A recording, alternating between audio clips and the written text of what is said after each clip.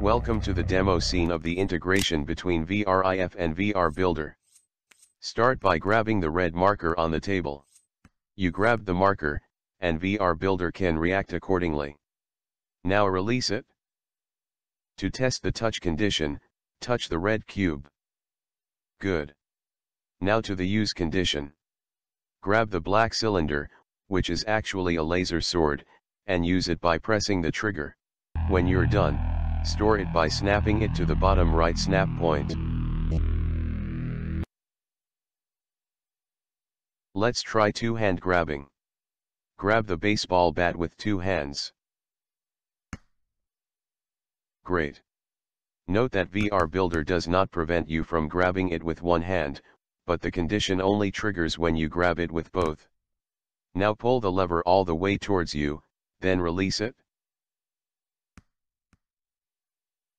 Now start turning the wheel counterclockwise. That's enough.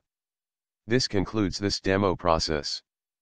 Feel free to check our the workflow editor to see how the process was built and look at the referenced objects to learn about their configuration.